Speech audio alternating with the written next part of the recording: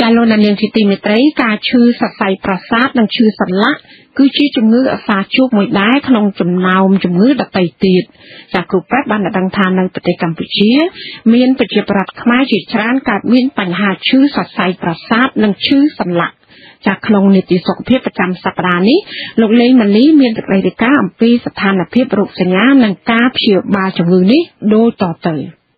ការឈឺសរសៃនៅពេលនេះ គឺគ្រូពេទ្យនិយាយសំដៅទៅរោគសរសៃប្រសាទដែលនៅពាសពេញរាងកាយយើងគ្រូពេទ្យได้ដឹងថាការឈឺសរសៃគឺនៅពេលណាសរសៃប្រសាទនោះមានបញ្ហារលាកឬប៉ះទង្គិចកើតឡើងគ្រូពេទ្យផ្នែកសង្គ្រោះនៃមន្ទីរពេទ្យព្រះកុសមៈគឺលោកវិជ្ជបណ្ឌិតខៃយ៉ាដែនជំនាញឯកទេសខាងព្យាបាលជំងឺសន្លាក់និងសរសៃប្រសាទថ្លែងថាជំងឺសរសៃភាគច្រើនដែលលោកបានទទួលព្យាបាលគឺសរសៃនៅត្រង់សន្លាក់ស្មា ការឈឺសរសៃនិងឈឺសន្លាក់អានឹងវាជាជំងឺដែលសម្បូរនៅស្រុកខ្មែរយើងបាទដែលញឹកញាប់ជាងគេ គឺភាគច្រើននៅសន្លាក់ស្មាស្មានឹងគឺច្រើនជាងគេបំផុតហើយនឹងកលៈអាចបាទអាចជង្គង់ដែលអង្គុយអង្គុយបត់ជើងអត់កើតក្រោកឡើងពិបាកងើបអីហ្នឹងណាឬមួយក៏អាសន្លាក់ស្មាដែលលើកដៃអត់រួចបានតែប៉ុណ្ណេះអីហ្នឹងអានឹងភាគច្រើនគឺកើតចេញពីអញ្ចឹងហើយដែលឈឺតាមកឈឺតាមជង្គង់ឈឺតាមកដៃកជើងអីហ្នឹងអាហ្នឹងដូចអត់សូវមានបានទេ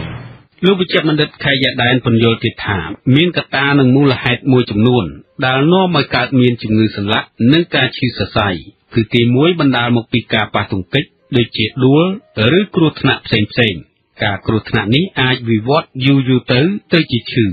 កត្តាទី2គឺបណ្ដាលមកពីភាពមិនប្រក្រតីនៃឈាមរបស់យើងឧទាហរណ៍ថានៅក្នុងឈាមយើង មានជាតិអាស៊ីតរិកឡើងខ្លាំងក៏អាចធ្វើឲ្យឈឺសរសៃឬក៏ឈឺសន្លាក់ដែរ ដែលចុងក្រោយបំផុតវាវិវត្តទៅជាជំងឺមួយយ៉ាងគេថា good ជំងឺកម្មេងកម្ងកម្មេងកម្ងតាមដៃហ្នឹងណាបាទហើយមួយទៀតតកតទៅនឹងបញ្ហាឈាមដែរគឺដូចជាការឡើងខ្លាញ់ឡើងជាតិខ្លាញ់ខុសពីធម្មតាការឡើងជាតិខ្លាញ់ខុសពីធម្មតាហ្នឹងគឺឧទាហរណ៍ដូចជាខ្លាញ់នៅក្នុងសរសៃឈាមឬមួយក៏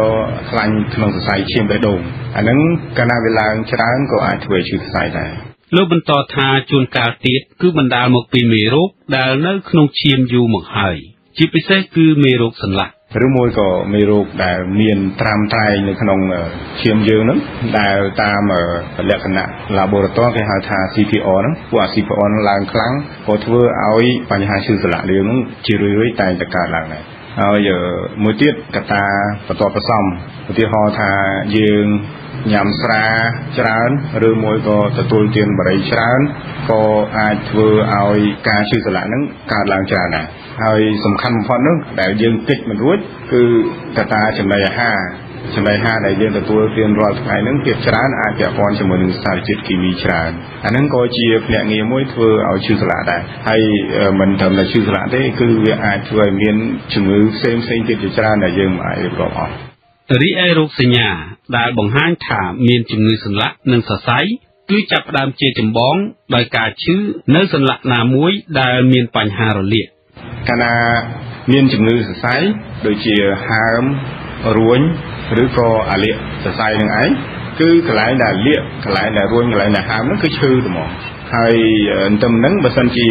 គាត់អាលៀកខ្លាំង ដូចជាអាលៀកសរសៃដែលមាន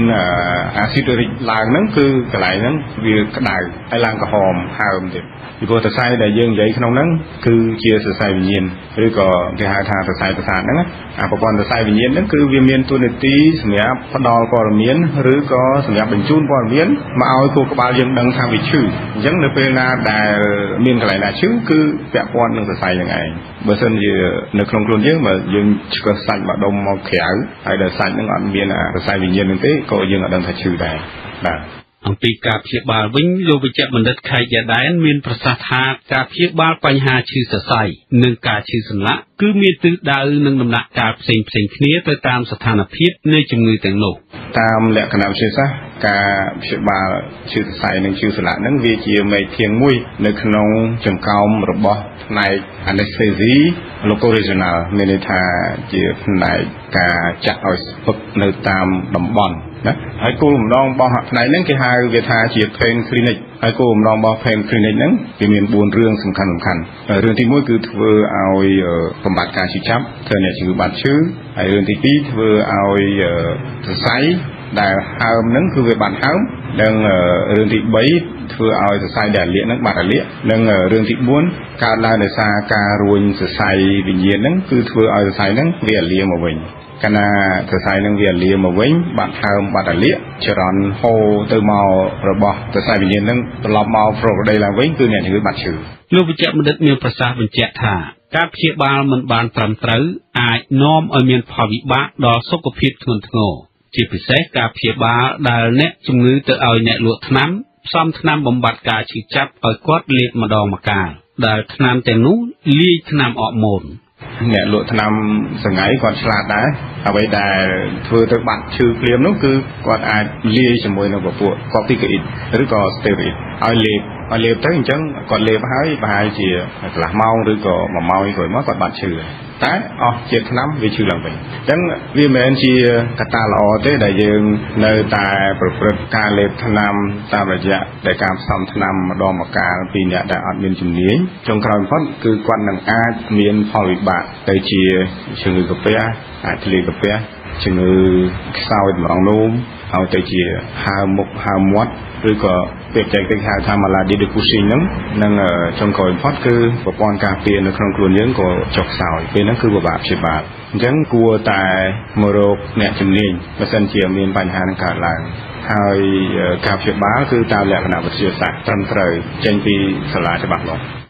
លោកវិជ្ជបណ្ឌិតខេកយ៉ាដែនពន្យល់ទៀតថាសរសៃប្រសាទឬសរសៃវិញ្ញាណគឺមានសរសៃឈាមទៅចិញ្ចឹមតូចតូចហើយតិចតួចដូច្នេះការប្រើថ្នាំលេបគឺមិនងាយនឹងជ្រាបដល់សរសៃដែលរលាកនោះណាស់ការប្រើថ្នាំលេបត្រូវប្រើរយៈពេលយូរ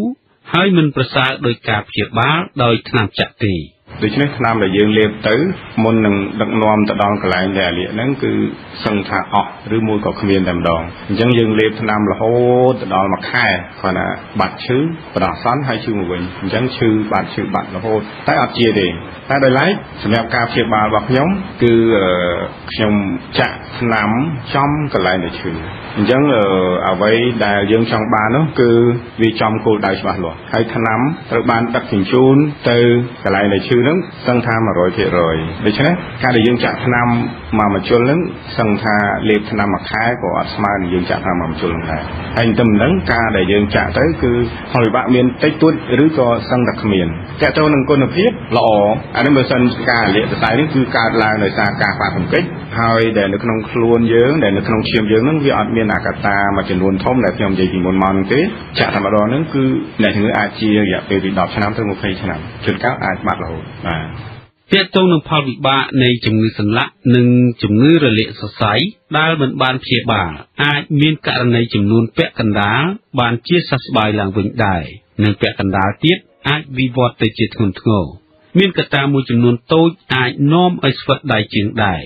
លោកវិជ្ជបណ្ឌិតខេកយ៉ាដែនណែនាំថាអ្នកជំងឺដែលមានបញ្ហាឈឺសន្លាក់ឬឈឺសរសៃគប្បីទៅជួបគ្រូពេទ្យជំនាញដើម្បីព្យាបាលឲ្យបានត្រឹមត្រូវហើយដើម្បីបង្ការកុំឲ្យមានផលវិបាកផ្សេងផ្សេងត្រូវជៀសវាងការប្រើថ្នាំលេបបំបត្តិការឈឺចាប់ដែលផ្សំដោយគ្មានការបញ្ជាពីគ្រូពេទ្យជំនាញជាក់លាក់ ខ្ញុំលេងម៉ាលីវិទ្យុអាស៊ីសេរីពីរាជធានីភ្នំពេញ